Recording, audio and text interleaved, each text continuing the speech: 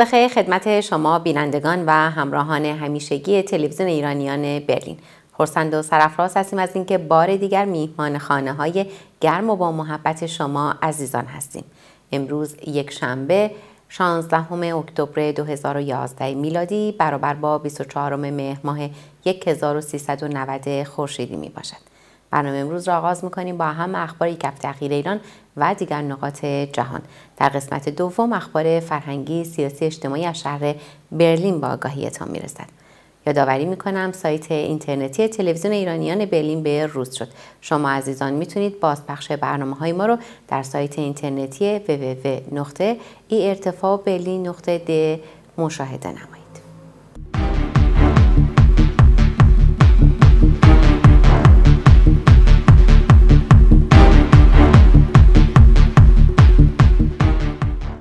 توجه شما را به رویدادهای خبری هفته که گذشت جلب می کنم.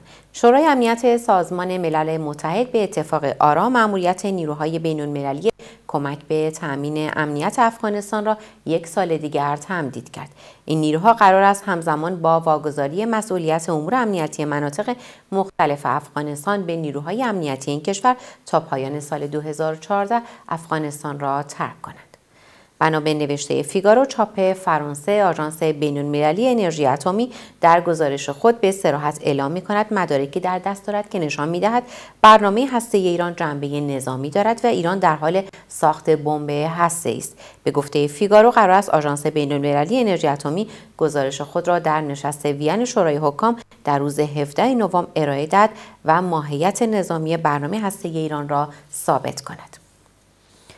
بانکیمون در کل سازمان ملل متحد در گزارش سالانه خود درباره وضعیت حقوق بشر در ایران از افزایش اعدام ها موارد قطع عضو بازداشت های خودسرانه محاکمه های غیرعادلانه شکنجه و سرکوب فعالان حقوق بشر وکلا روزنامه نگاران و فعالان مخالف در این کشور ابراز نگرانی کرده است. در همین رابطه احمد شهید گزارشگر ویژه در مورد وضعیت حقوق بشر ایران که در ماه ژوئن سال گذشته منصوب شد گزارش خود را تا هفته آینده منتشر خواهد کرد گفتنی ایران بارها نقض حقوق بشر در داخل ایران را رد کرده و سازمانهای بین المللی را متهم کرده است که تحت نفوذ دشمنان این کشور نظیر امریکا عمل می کنند. مقام های قضایی و امنیتی امریکا سهشنبه 11 اکتبر دو ایرانی را به نام های منصور ارباب سیار تبع ایرانی امریکایی و غلام شکوری عضو نیروی قدس سپاه پاسداران متهم کردند که قصد داشتند طرح ترور عادل جبیر سفیر عربستان در واشنگتن و انفجار در سفارتخانه های اسرائیل و عربستان را به مرحله اجرا درآورند. این در حالی است که مقامات ایران به شدت هر گونه دخالت در طرح این توطعه را رد می کنند و آن را سناریوی ساختگی برای انحراف افکار عمومی می دانند. با این حال رئیس جمهور امریکا باراک اوباما درباره مدارک و شواهد درباره دخالت ایران در این توته ابراز اطمینان کرد و گفت مقام های ایران باید در قبال این توته پاسخگو باشند در همین رابطه گفتگویی داشتیم با دکتر مهران براتی تحلیلگر سیاسی از برلین که توجه شما را به اون جلب می‌کنم. با درود و فراوان آقای دکتر براتی حکومت جمهوری اسلامی ایران به تریزی ترور سفیر عربستان سعودی در آمریکا متهم شده است. نظر جنابالی در این رابطه و پیامدهای آن برای کشور ایران را چگونه ارزیابی می‌کنید؟ خیلی جدی و در روزنامه های بینومالی خیلی جدی به این مسئله که کشتن سفیر عربستان سعودی در آمریکا می‌تونسته نفعی برای جمهوری اسلامی به عنوان حکومت جمهوری اسلامی داشته باشه بسیار شک است اما یک برداشت عمومی در مورد این مسئله و برنامه‌ریزی این ترور گفته میشه. و اون این هست که جمهوری اسلامی بر صورت الان سالهای ساله که خودش رو مورد تهدید احتمالی حمله نظامی امریکا و اسرائیل می‌دونه. به همین دلیل هم سالهاست گویا شروع کرده به برنامه ریزی اقدامات تلافی جویانه یا پیشگیرانه در بعضی از کشورها از جمله ممکن خود کشور آمریکا. یعنی یه برنامه ریزی عمومی در رابطه با این مسئله تهدید عمومی حمله به نظامی به ایران وجود داره. یه برنامه ریزی عمومی در سطوح مختلف نظام احتمالا همین در سپاه پاسداران سپاه قدس وجود داره و وجود داشته. این مسئله احتمالا در آمریکا لو رفته. بقیه داستان برمیگرده به اینکه بعد از مقامات آمریکایی به اصطلاح همچی برنامه ریزی احتمالی رو کشف کردن اون وقت دامی گستردن برای جمهوری اسلامی به این معنا که افراد مشخصی رو هم برای ترور احتمالی سفیر عربستان سعودی به اصطلاح به میان آوردن. اصل برنامه کشتن سفیر بر صورت معنای سیاسی خاصی برای جمهوری اسلامی نداره هیچ نفی هم نداره. اون حدس دومی به نظر من می‌تونه درست باشه و اون هم این است که این برنامه ریزی های ترورهای احتمالی برای آینده در کشورهای مختلف به عنوان اقدامات تلافی جویانه در نظر گرفته شده بوده از جمله در خود آمریکا. حالا یکی از اینها لو رفته. اینکه دولت امریکا از این لو رفتن چه نوع استفاده ای می‌کنه یا کشورها غربی اون مسئله دیگری است که ما اطلاعی دقیقی ازش نداریم که چرا. ولی فکر می‌کنم که اصل مسئله در چارچوب همین برنامه ریزی های ترورهای احتمالی برای آینده بوده نه احتمالا برای همکنون آقای دکتر براتی بانکیمون دبیر کل سازمان ملل متحد می‌گوید علاوه بر اعدام های روزانه در ایران گزارش های از 300 اعدام مخفی در مشهد داریم نظر شما در این رابطه چیست؟ بله نه اتفاقا همین در همین چند روزه گذشته یه خبر رسید که در زندان وکیل آباد مشهد 26 نفر رو باز مخفیانه اعدام کردن اون چی که شما بهش اشاره می‌کنید دادستان ارچود که دادستان مشهد و دادستان انقلاب مشهد یه اعلان رسمی کرده بودن. به این معنا که یعنی دادستان عمومی و انقلاب مشهد که ما در پنج مرحله اعدام های انجام دادیم که این در رابطه هست با قاچاق مواد مخدر چون مشهد به افغانستان نزدیک است و راه اصلی آوردن و بردن مواد مخدر از این راحت تعداد زیادی دستگیر میشن و تعداد زیاد اعدام شدگان اینطور که ایشون گفتن در گیومه متناسب با آمار جرایم بوده. که ایشون عدد مشخصی نگفتن.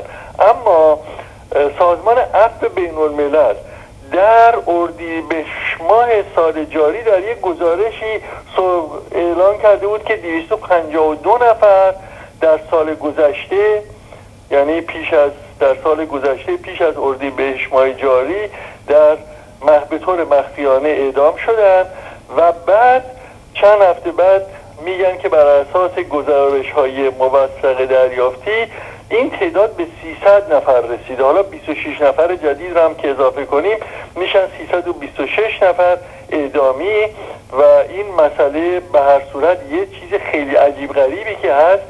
نه خانواده و نه وکلای اعدام شدگان یا متهمین. من که نمی‌دونیم اینا جرمشون واقعا ثابت شده است.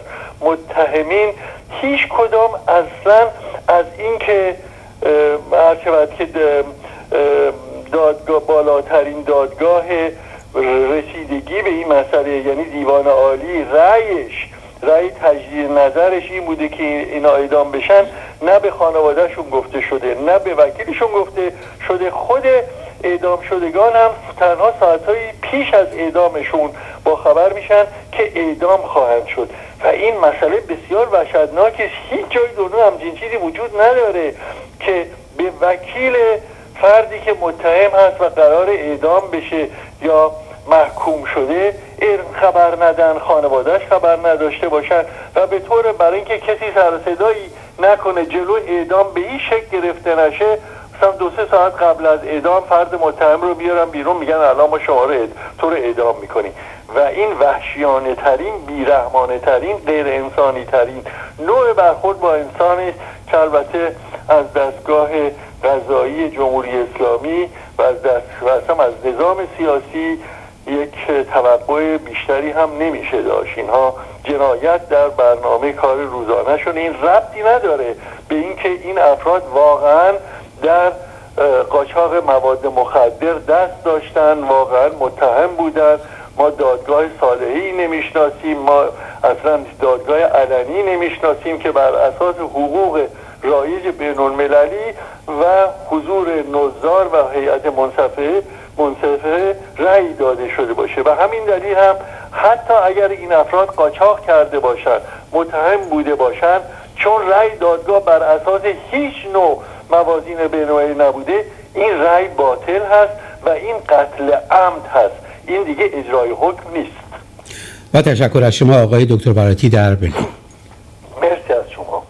به ادامه اخبار توجه بفرمایید. عربستان با انتشار بیانیه کوتاه توطعه برای ترور سفیر این کشور دا واشنگتن را زشت منزجر کننده و آمیز خواند. این در حالی است که بر اساس آمار منتشر شده توسط سازمان حج و زیارت 100 ببخشید 99 هزار ایرانی برای انجام سفر حج تمتع در سال 1390 راهی عربستان خواهند شد. گفتنی است 274 پرواز برای انتقال این زائران به عربستان در نظر گرفته شده که 147 پروازان به شرکت ماهان ایر واگذار شدند. اما این شرکت هفته گذشته از سوی امریکا تحریم شد. دولت امریکا شرکت هواپیمایی ماهان ایر را به دلیل ارائه خدمات به نوری قدس سپاه پاسداران در فهرست تحریمی خود قرار داد. در این بیانیه وزارت خزانه داری امریکا آمده است ماهان ایر خدمات هواپیمایی چون انتقال نیروها و کمک مالی را برای نیروهای سپاه پاسداران انجام می دهد. بر این اساس اموال و دارایی های شرکت هواپیمایی ماهانه در قلمرو امریکا توقیف و مسدود شده و هر گونه ارتباط و همکاری شهروندان امریکایی با این شرکت هواپیمایی ممنوع اعلام شده است. مادران سهراب عربی و ندا آقا سلطان دو جوان کشته شده در رویدادهای پس از دهمین دوره انتخابات ریاست جمهوری در ایران اعلام کردند که پیگیری هایشان در رابطه با یافتن قاتلان فرزندانشان به جایی نرسیده است و مقامات می‌گویند که قاتل قابل شناسایی نیست و بیایید دیه بگیرید که ما هم نرفتیم. حالا تصمیم داریم به سازمان ملل متحد متوسل شویم و اگر آنها هم کاری انجام ندهند دیگر همه چیز تمام است و فایده ای ندارد. افزایش بی سابقه احکام شلاق برای زندانیان سیاسی در ایران های سازمان عفو بین الملل با انتشار بیانیه بار دیگر از های جمهوری اسلامی خواستند به این مجازات وحشیانه غیر انسانی و خشن خاتمه دهند. گفتنی است مرزی وفامه هنرپیشه سرشناس ایرانی به دلیل ایفای نقش در فیلم تهران من حراج به یک سال زندان و 90 ضرب شلاق محکوم شده است. وی در وضعیت اسفباری در زندان قرچک برامین به سر می‌برد. همچنین هفته گذشته پیمان عارف یک فعال دانشجویی پس از گذراندن یک سال در زندان همزمان با آزادیش به دلیل اهانت به محمود احمدی نژاد در مقابل همسرش 74 ضربه شلاق زدند. به چند خبر داخلی کوتاه توجه بفرمایید شهاب الدین صدر رئیس کل سازمان نظام پزشکی ایران از درصدی هزینه های درمان خبر داد. اماد حسینی سخنگوی کمیسیون انرژی مجلس گفته که یک میلیون و 600 هزار خانوار ایرانی به شرکت ملی گاز بدهکارند و از پرداخت بهای گاز مصرفی خود خودداری می کنند. به افزود دولت برای پرداخت یارانه با کمبود روبروست. دولت جمهوری اسلامی ایران دو نیروگاه دیگر را به سپاه پاسداران واگذار کرد. و آخرین خبر این که به گزارش روزنامه کویتی جمهوری اسلامی ایران به حزب الله لبنان اعلام کرده است که قادر به پرداخت کمک های سالانه خود به این گروه نیست گفتنی است ایران سر سال 350 میلیون دلار به حزب الله لبنان کمک می کند.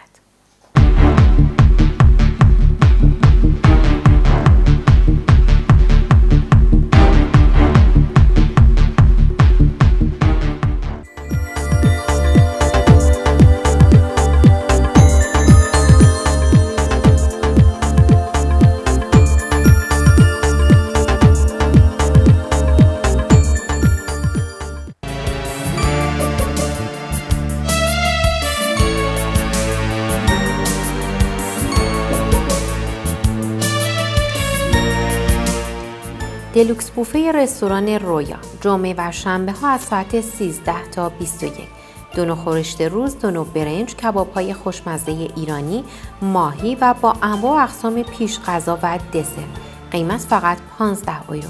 تلفن اطلاعات و رزرو جا 40 57 46 86 مکان برن هولمشتقاس شماره 10 در 10 439 برلین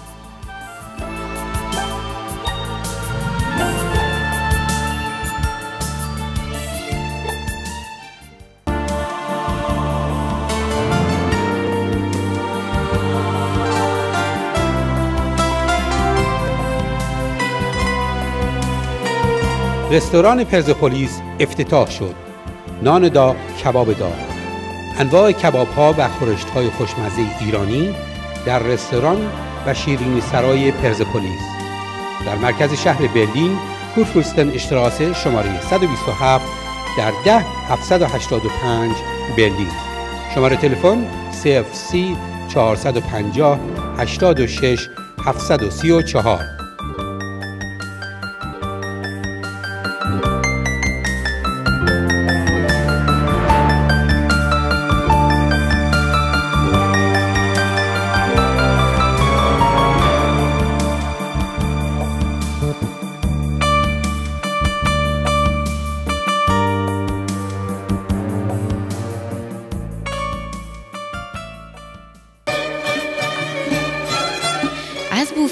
غذاهای مخصوص رستوران سرای از دوشنبه تا جمعه ساعت دوازده تا 16 بعد از ظهر هر چقدر دوست دارید میل بفرمایید. انواع خورشت های خوشمزه و کباب های ایرانی. پیش غذا و دسر برای هر نفر فقط 6 یورو و 90. رستوران سرای واقع در اولند اشتراسه شماره 142 نبش دوسلدورف اشتراسه در منطقه ویلمسروف. تلفن اطلاعات 03 863 96 664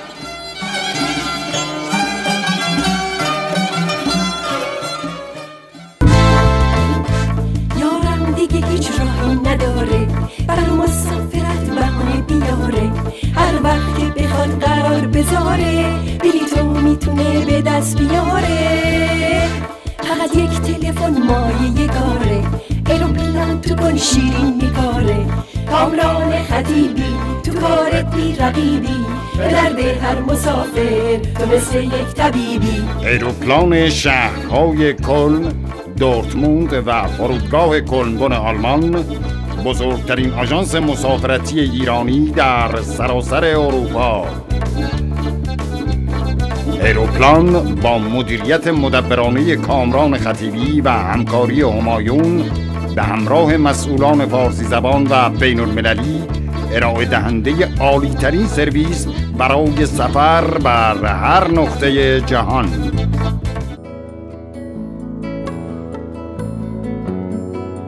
هارتنکشوله بزرگترین آموزشگاه خصوصی زبان خارجی در برلین. با بیش از چهل سال فعالیت درخشان و آموزش به بیش از یکصد هزار نفر علاقمند به فراگیری زبان.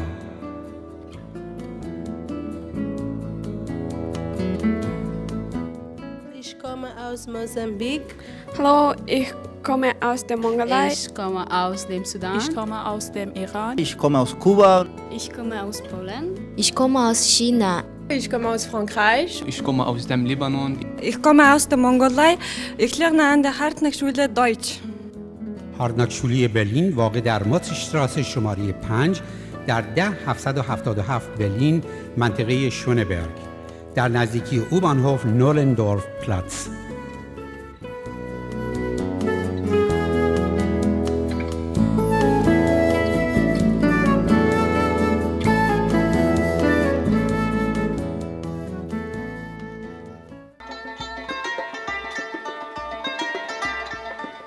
رستوران الردا با انواع لذیذترین کباب های ایرانی جوجه کباب، کوبیده، برگ، سلطانی، غذاهای خوشمزه لبنانی و غذای ویژه هفته با بهترین و مرغوبترین کیفیت آماده پذیرایی از شما عزیزان است. قبول سفارشات برای جشنها و میهمانی های شما با قیمت های بسیار مناسب. آدرس الردا هوتنشتراسه شماره 69 در 10 553 برلین. شماره تلفن 030 391 11 19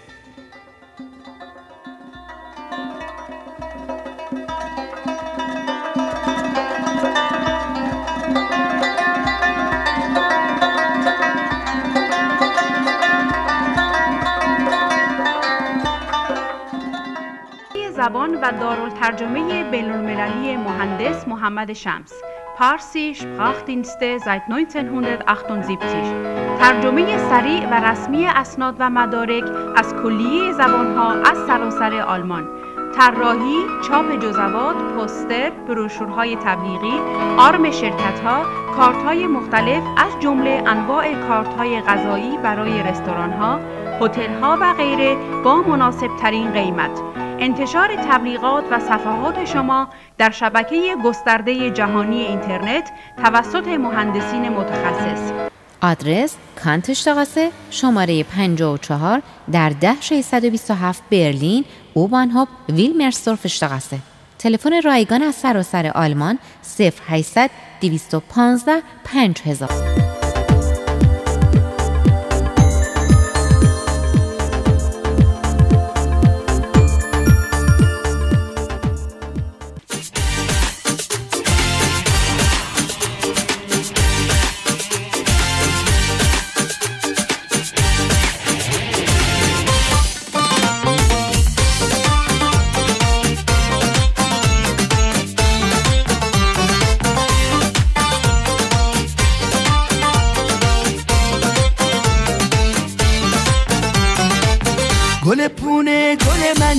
بهونه گل من. بیا نزار از غم تو بشم دیوونه گل من. گل پونه گل من نگیر بهونه گل من. بیا نزار از غم تو بشم دیوونه گل من. پونه من تو رو به هیچ قیمتی از دست نمیدم. تو فقط مال منی تو رو به هیچ کس نمیدم. می‌دونم خدا تو رو واسه دل منو فرید حتی اگه خدا بخواد تو رو بهش پس نمیرم گل پونه گل من نگیر بهونه گل من. بیا نزار از غم تو بشم دیوونه گل من. گل پونه گل من نگیر بهونه گل من. بیا نزار از غم تو بشم دیوونه گل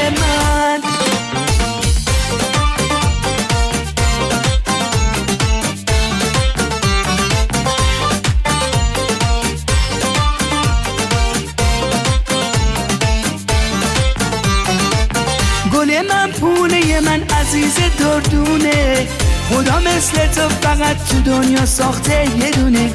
میده نقشی توی جمع عاشق برات فرابونه اما تو مال منی تموم دنیا می‌دونه. گل پونه گل من نگیر بهونه. گل من بیا نزار از غم تو بشم دیوونه.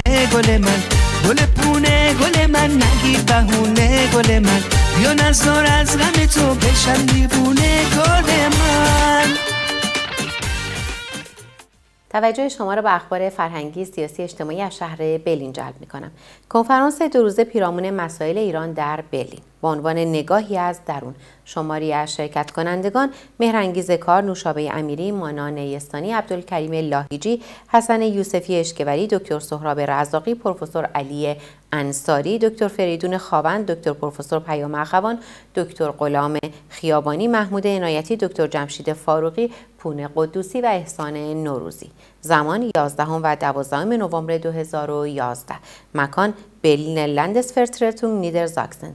برای اطلاعات بیشتر می توانید به برنامه هفته آینده ما توجه بفرمایید. شنبه 22 اکتبر رستوران سرای شب خوشی را در محیطی دلپذیر با حضور احمد آبادانی هنرمند شهر برلین برای شما عزیزان تدارک دیده است. ورودی 3 یورو مکان اولاند اشتغاست اک دو سلدوف اشتغاست شماره 142 برای رزرو جا می توانید با شماره تلفن 03 863 96 664 تماس حاصل نمایید. شنبه 5 نوامبر رستوران رویا شب خوشی را با هنرمند شهر برلین مسعود سلطانپور برای شما عزیزان تدارک دیده است. ورودی با بوفه غذاهای خوشمزه 20 یورو. مکان برنهولم اشتخاص شماره 10. تلفن اطلاعات و رزرو جا 40 57 46 86. به یک خبر ورزشی توجه بفرمایید. یک شنبه 9 اکتبر 10 کیلومتر دوی آلمان در مرکز شهر برلین با حضور بیش از 11 هزار شرکت کننده برگزار گردید. بار دیگر آقای قاسم نادلیپور دونده ایرانی ساکن شهر برلین در این مسابقه شرکت کردند و 10 کیلومتر را با زمان 36 دقیقه و 57 ثانیه طی کردند و در گروه سنی خودشان مقام دوم را به دست تلویزیون ایرانیان برلین برایشان موفقیت های بیشتری را آرزو مندم. بینندگان عزیز به لحظات پایانی برنامه امروز رسیدیم. با امید به اینکه برنامه امروز ما مورد توجه شما عزیزان قرار گرفته باشه.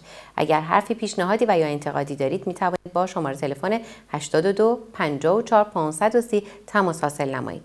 چنانچه علاقه من هستید از بازپخش برنامه های ما اطلاع حاصل نمایید می توانید به سایت اینترنتی www.irtفا مراجعه نمایید. از طرف خودم و دیگر همکارانم در این بخش خبری تا یک شنبه آینده ساعت یک بعد از ظهر روزها و لحظات خوشی را برایتان آرزو می‌کنم. شاد و سربلند باشید.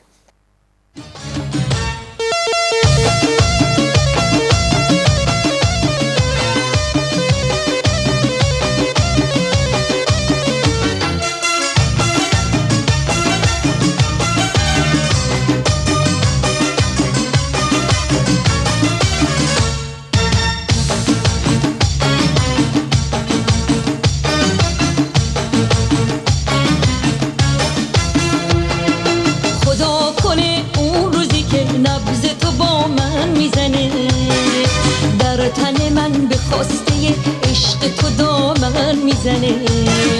به خود خواهی دست نزنه عشق تو رو پس نزنه. حرف جدایی با منه عاشق بی کس نزنه.